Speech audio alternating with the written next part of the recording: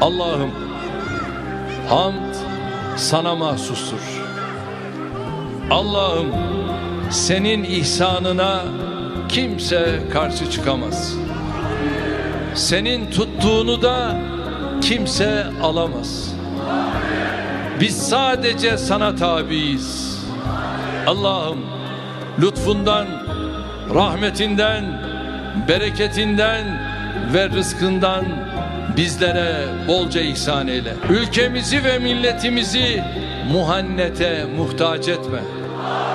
İstiklalimize ve istikbalimize göz dikenlere fırsat verme. Ey kalpleri çekip çeviren Rabbim! Benim ve arkadaşlarımın kalbini yolun üzere sabit kıl. Bizleri sıratı mustakimden ayırma. Fitnelere karşı kalplerimizi koru. Allah'ım öne geçiren de geride bırakan da sensin.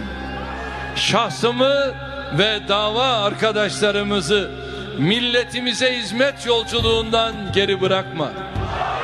Tüm mazlumların umudu olan bu cennet vatanı ilelebet payidar eyle.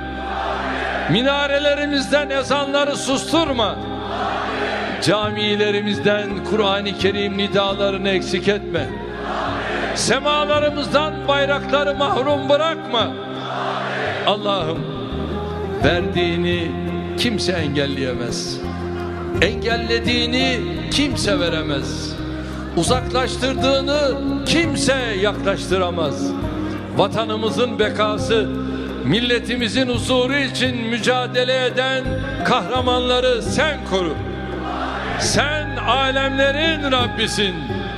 Senin her şeye gücün yeter. Amin, amin, amin.